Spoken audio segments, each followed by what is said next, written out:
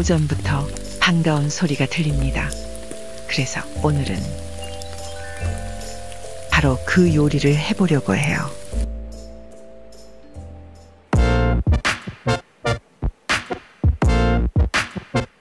오늘 점심은 부추 부침개.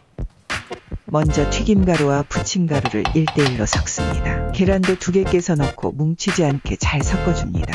부추나 다른 건더기를 넣기 전에 섞어주세요. 전 먼저 김치를 넣을게요.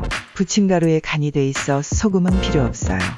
지금 나온 부추를 써도 좋지만 냉동시켜 놓은 작년 부추를 넣어요. 부추가 나오기 전 초봄까지는 이렇게 먹으면 좋아요. 미리 얼려놓은 고추도 넣어줍니다. 이제 섞어줍니다.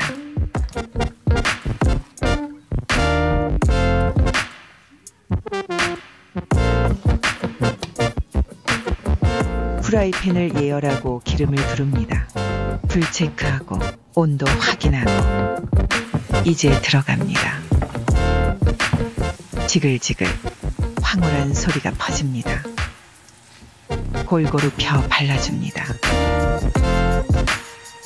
지금 들어보니 비 오는 소리랑 비슷하네요. 그래서 비 오는 날에는 부침개가 생각나나 봐요. 노릇노릇해지면 이제 마음의 준비를 합니다. 이제부터가 중요합니다. 꼭 어느 정도 익은 다음 시도하세요. 성공이에요. 윤기 절절.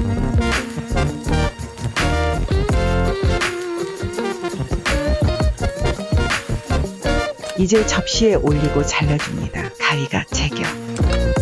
싹둑싹 부침가루와 튀김가루가 섞여 바삭바삭해요.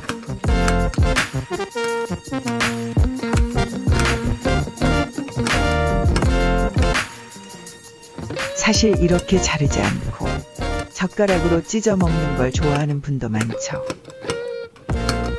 이제 가족들과 맛볼 차례.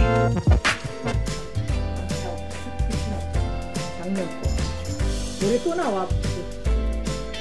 지금 막 나와. 너무 좋습니다.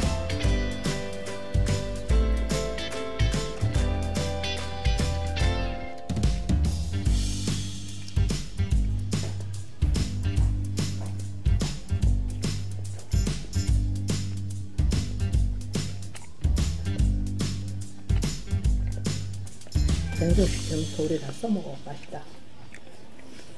아직 쿠키 영상 하나 더 남았다.